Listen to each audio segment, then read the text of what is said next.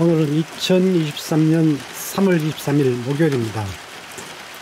어, 봄비가 촉촉히 어, 내리는 날입니다. 어,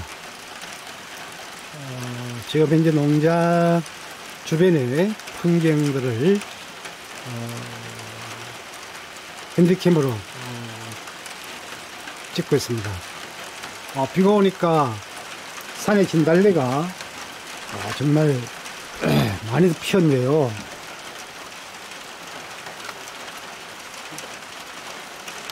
어유 진달래 어, 놀라보게 많이 피었습니다.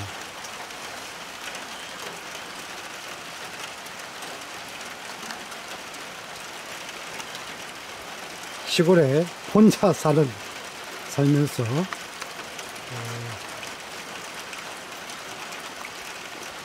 생각하기 나름 아니겠습니까, 그죠?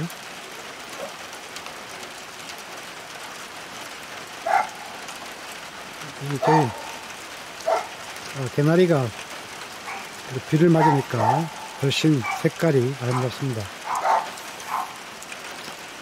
밭에 어, 쪽파가 비를 맞으니까 훨씬 싱싱해졌습니다. 지금 저기는 완두콩을 심은 거죠. 부추밭이고요. 뒤편에 복숭아가 온 전경입니다. 어, 저기는 그 만천하와 성백 그리고 그 거반도 복숭아가 심어져 있습니다.